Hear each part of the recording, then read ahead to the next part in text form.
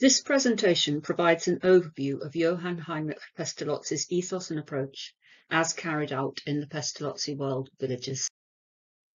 Although in relation to Pestalozzi's philosophy, we usually hear about head, heart and hands, in our villages we put heart first. This is exactly what Pestalozzi also prioritised. He believed that without heart, however good your academic education, however excellent your practical skills, you would never be able to help yourself and others unless you have the loving, compassionate and caring qualities of the heart. So our village ethos is heart-led. This means that the staff show an open and caring and loving attitude to the children. They spend time with the children. They interact with them both formally and informally. In this picture, you can see one of the children with an alumna who has come back to the Zambian village to do voluntary work. It really demonstrates the kind of cheerful and affectionate relationship that our staff and our children have with each other. Pestalozzi recognised that children learn by example. He uses an analogy of a musical instrument. It's an instrument with a double layer of strings. The musician plays only the top layer. The bottom layer vibrates accordingly. So the staff who interact with the children are the top layer.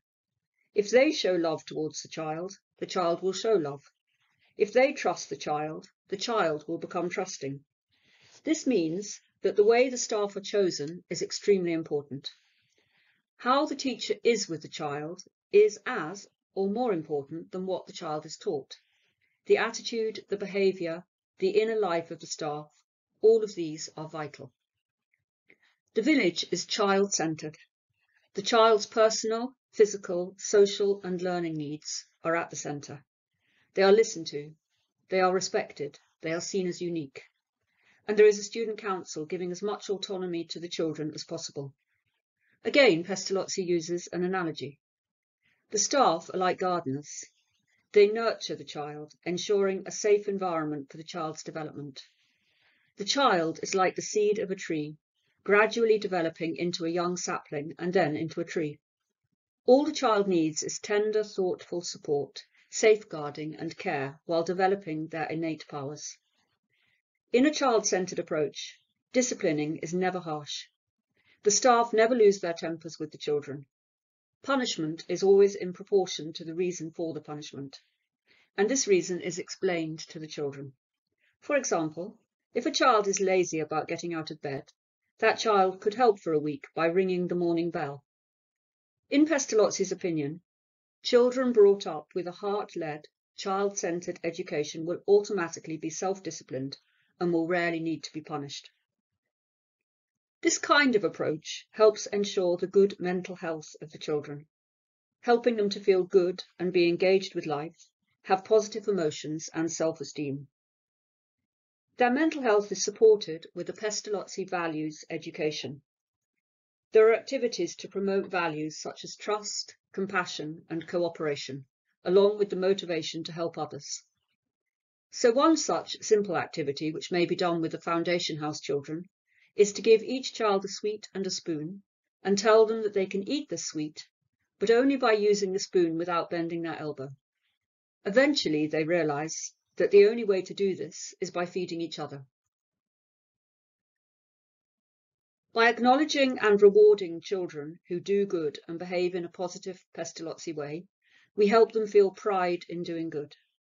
One example is through the distribution of head, heart and hand certificates. For example, the heart certificate is given to the kindest and most helpful child, while the all-rounder head, heart, hand certificate goes to the child who is academically good, skilled in vocational training activities, and turns their head and hand learning into action to support others. Children learn best by doing, by being active. So we give them plenty of opportunities for socially useful, productive work. This may be helping in the community, for example, by going into old people's homes or to underprivileged sections of the community to help out. As Pestalozzi recognised, it's only through real-life experience of helping others that the children can learn the value of doing so, and it has a positive effect on themselves and on others. One of Pestalozzi's key aims was to help children grow up into independent adults who help themselves and others. Of course, socially useful productive work can take place within the village as well. For example, the children in the Zambian village once collected some money together to help with the funeral costs of the parents of their school friend. Another opportunity for socially useful productive work is through peer learning. This includes seniors teaching their juniors and classmates teaching each other. The heart-led ethos of the village is of utmost importance.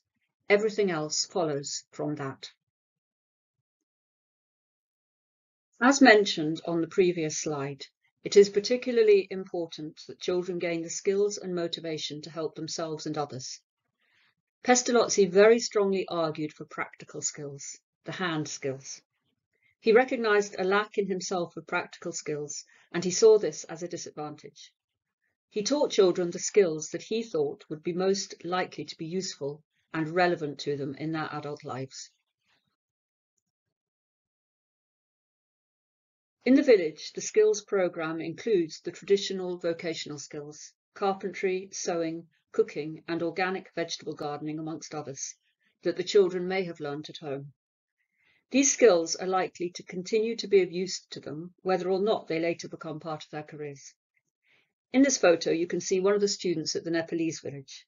He has just picked okra from their organic vegetable garden. The villages also run entrepreneurial skills programs for setting up and running small businesses. These include skills like budgeting, marketing, sales and reinvestment. Recently, the Indian village had different groups selling items they'd made at Diwali.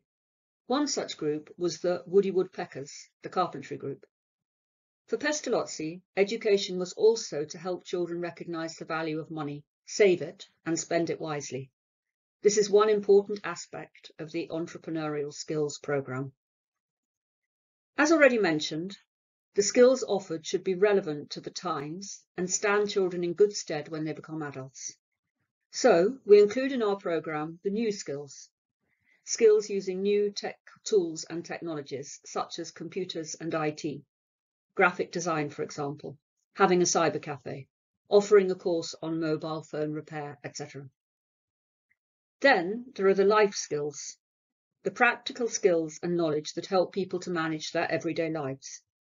These include budgeting, communication through, for example, email, also communication in an interview situation or public speaking and debate. Career support and advice are also provided. Life skills can also be understood to include the activities that the children take part in around the village, such as keeping the dormitories clean, making sure the lawn is neat and tidy. These are skills which they almost certainly had at home and shouldn't be lost, because they contribute to the child's independence and self-sufficiency when they become adults. Interestingly, Pestalozzi included social skills in the hand skills because he recognized that if someone is not able to function well socially, it will be very hard for them to succeed, no matter how academically brilliant they are or how practically able they are. And only with social skills can we practically help others. Pestalozzi emphasised very strongly the importance of a child enjoying the whole learning experience, and so leisure activities are vital. He also emphasised that children should not sit still, it goes against their nature to sit still. Children should engage in outdoor activity in the natural world as much as possible, engaging all their senses in the learning experience. Pestalozzi actually introduced sports to the school curriculum in Switzerland, and sports are an important part of village life, contributing to teamwork and a spirit of unity. He also introduced music to the school curriculum, believing that music has a positive effect on people's feelings, leading to happiness and benevolence.